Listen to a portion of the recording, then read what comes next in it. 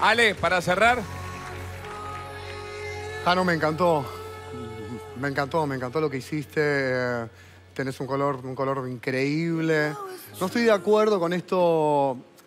eh, Creo que de alguna manera te, voté teniéndote fe, pero hubo cosas que tienen que ver no con la afinación, no con lo técnico, sino sí con lo interpretativo, cerraste mucho los ojos, Ah, hay mucha fuerza física a la hora de cantar que no me parece necesario para, para este cuento, de esta canción. ¿sí? Per- perdón, Descone- ¿por qué haces todas esas caras, Oscar Mediavilla? No entiendo. Algunas cosas que dice no me parecen interesantes, pero sí pueden serlo para él. Perfecto. Ale, sí. Sí, Ale. Dígame, ¿cómo arrancamos? Sí. Perdón, ¿cerraba los ojos en la interpretación? No, Sí. Perdón. Se perdón. picó esto. No Sí. quiero, no es como para. Siga, no, no- sígale, por No favor. quiero ofender, pero. Más o menos, ¿no? Sí, sígale. Voy a, se- voy a seguir. eh, bueno, a veces esa es la diferencia del criterio entre productores y artistas, ¿verdad? Eh,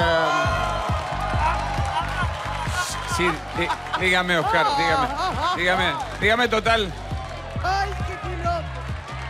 Se lo subí, por favor, que esto se Me banco, vale.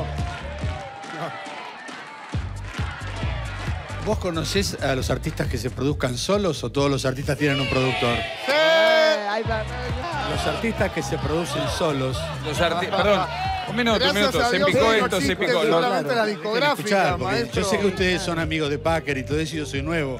Pero yo les quiero explicar una cosa, no voy a contarles quién soy yo. Si quieren, fíjese, averigüen. Pero lo que quiero decir es esto.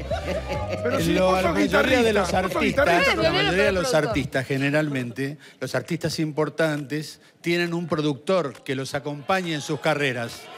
Los artistas nuevos, por este cambio que tiene la industria, se la están rebuscando como pueden y hacen trabajos, también graban, también tienen sus estudios, también hacen todo lo que antiguamente cada había muchos roles de gente que hacía este trabajo.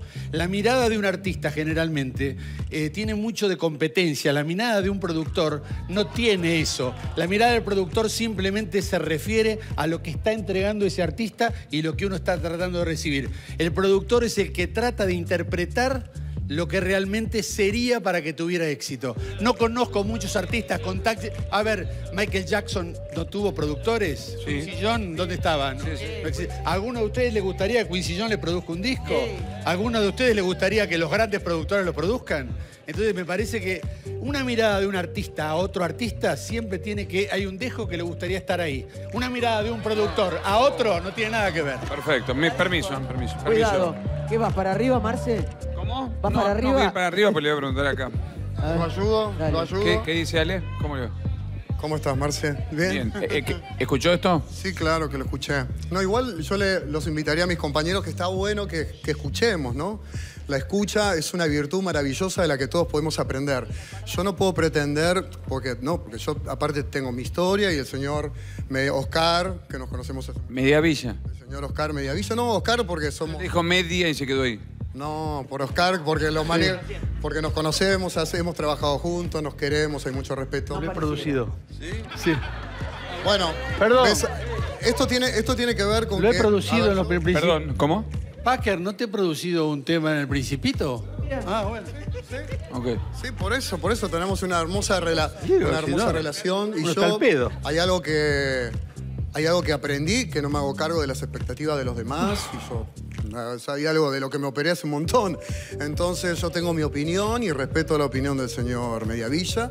Es verdad que también hay cosas que caen por su propio peso, ¿no? Los tiempos han cambiado y hoy hay muchos artistas que gracias no sé, a, a por qué se ha hecho una justicia divina donde hoy los, también los artistas se- eh, hay autogestión, ¿verdad? Y no solo los, sobre todo los cantantes, sobre todo los cantantes no dependen de una discográfica hoy en día, ¿no? Para, para hacerse conocer. Buenísimo. Y gracias a vos también, muchos de estos cantantes nuevos que no se conocen, es un lugar donde se les Mira, está dando visibilidad.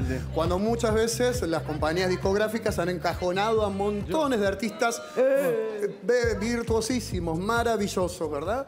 Hay, hay, nada, yo no voy a hablar de un negocio, yo no, Pero vamos a hablar de Jano, si no van a estar hablando de la industria discográfica, pobre, está parado de Jano. Yo me vine acá arriba, si no me tiro de acá. No, me tiro, me tiro. Por favor, querido. Te lo pedimos no vale por la Dios. pena, no vale la pena que te tires. Te Por esta verdad. discusión no vale la Por pena. esta discusión no vale la pena. Lo único que yo te digo es si alguna vez podés conseguirte un productor que te va a ir mejor. Uy, ¿qué hacemos con Jope Prada? Ese es un palo. Para mí me está es un palo para Jope y para Claro, Prada. no sé. Amigo. Bueno, entonces, No, lo maravilloso es que existen todos los colores y acá, están, acá estamos existiendo todos. Y totalmente. eso es lo maravilloso que hay que festejar. Me parece que está bueno que festejemos, aquellos que quieran festejar, festejemos la diversidad que tenemos acá, de profesiones, de carreras, de opiniones. Así que, gracias. Bueno, gracias. Jano, Señores, qué duro esto. El comienzo no ha sido muy auspicioso. Jano, tremendo, eh, no sé tremendo. qué, un quilombo armó Jano. Sí. Señores, el señor Jano la rompió esta noche, más allá de todas las Sí, excelentes opiniones del jurado.